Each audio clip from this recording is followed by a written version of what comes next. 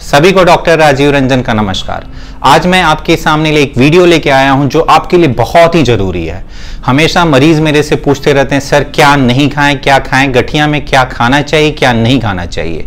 So diet को लेके बहुत ही लोग सतर्क होते हैं कि कुछ खाना होता है जो आपको कि खाने से गठिया बहुत बढ़ जाता है। तो क्या ये सच है? हाँ बिल्कुल सच है। इवन रिसर्च में देखा गया है कि जो लैब में माइस हैं जो चूहे होते हैं उनको कुछ खाना बढ़ा दिया गया और देखा गया उनकी गठिया बढ़ गई। कुछ खाना उनको नहीं दिया गया तो देखा गया कि उनकी ज्वाइंट में पेन स्वेलिंग नहीं होता है। सो so, बहुत ज़रूरी है आप जाने इस वीडियो में कि क्या ऐसे पाँच खाना है जो आपको छोड़ देने चाहिए, अगर आपको गठिया है, आपके जोड़ों में दर्द सूजन रहता है, आपको कोई भी प्रकार का गठिया है तो ये पाँच खाना आपको कभी नहीं लेना चाहिए। और जितना कम हो सके इनकी मात्रा कम कर देना चाहिए, अगर आप बंद नहीं कर पा रहे हैं। तो चलिए जानते हैं कि रिसर्च में क्या देखा गया है कि कौन से ऐसे पाँच खाना है जो आपको बंद करने चाहिए, जिससे आपका ज्वाइंट पेन और गठिया कंट्रोल में रहेगा और बार बार बढ़ेगा नहीं। सो so, पहला हम बात करते हैं ट्रांस फैट्स की। क्या है ये ट्रांस फैट्स ट्रांस फैट्स मतलब अनहेल्दी फाइट अनहेल्दी फैट बोलते हैं। अनहेल्दी फैट जो होता है उसको हम ट्रांस फैट बोलते हैं।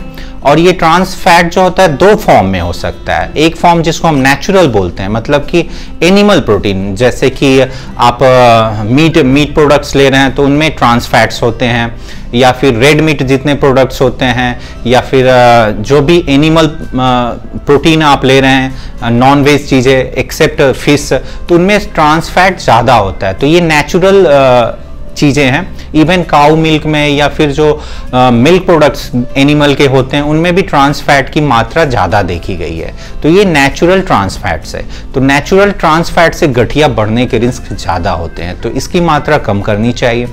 दूसरा जो हम बोलते हैं आर्टिफिशियल ट्रांसफैट आर्टिफिशियल ट्रांसफैट मतलब जितने भी जो अनहेल्दी ऑयल्स होते हैं, तेल होते हैं, जिसमें खाना बनता है, उसको हम आर्टिफिशियल ट्रांसफैट्स बोलते हैं। जैसे कि पकौड़े समोसा जो तले जाते हैं स्ट्रीट फ़ूड पे, बहुत सारे जंक फूड्स और जितने भी मिठाइयाँ हैं, जलेबियाँ हैं तो ये सब चीज़ें जितने भी, जो कि तेल में छान के बनाई जाती है ट्रांस फैट्स कंटेन इनमें ज़्यादा होता है। तो ट्रांस फैट कंटेनिंग वाली चीज़ें आपको बहुत कम लेनी चाहिए या बंद करनी चाहिए। दूसरा इंपॉर्टेंट है ग्लूटेन ग्लूटेन एक प्रोटीन है, एक जो कि कुछ कुछ चीज़ों में मिलती है, हमारे खाने में मिलता है। जिसमें से हम बोलते हैं कि वीट होता है, जिसमें ब्रेड हो गया बन हो गया केक्स हो गए तो इसमें ग्लूटेन मिलता है। तो ये सब चीज़ों की मात्रा बिल्कुल कम और बंद कर देनी चाहिए। तीसरा देखा गया है एडिड सॉल्ट्स आप अगर नमक ज़्यादा ले रहे हैं या ऐसा फ़ूड प्रोडक्ट जिसमें नमक ज़्यादा है, जैसे कि भुजिया हो गया, नमकीन हो गया मिक्सचर हो गया, या फिर आप पिज़्ज़ा ले रहे हैं, या फिर आप सूप ले रहे हैं जिसमें नमक ज़्यादा है तो जो भी एक्स्ट्रा नमक डाला हुआ चीज़ जिसमें नमक ज़्यादा होता है तो इससे गठिया बढ़ने के रिस्क ज़्यादा होते हैं।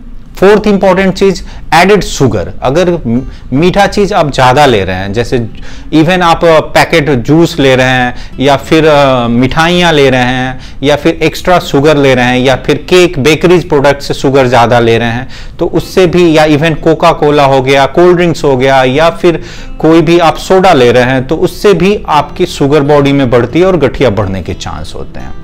लास्ट जो हम बोलते हैं फ्राइड और प्रोसेस्ड और कैन फूड्स अगर कुछ तली हुई चीज़ें, छनी हुई चीज़ें ले रहे हैं तो वो भी बहुत ही ट्रांसफैट ज़्यादा होता है अनहेल्दी होता है, या फिर पैकेट है कैंड है, उसमें शुगर या फिर नमक कंटेंट ज़्यादा होता है तो ये पाँच प्रोडक्ट जो मैंने आपको कैटेगरी में बताएँ, अगर ये आप छोड़ते हैं तो गठिया की मात्रा बहुत ही कम रहती है। उसके साथ साथ ज़रूरी है कि आप रेगुलर एक्सरसाइज और मेडिसिन जो गठिया की है, अपने रोमैटोलॉजिस्ट से मिलकर ज़रूर लें।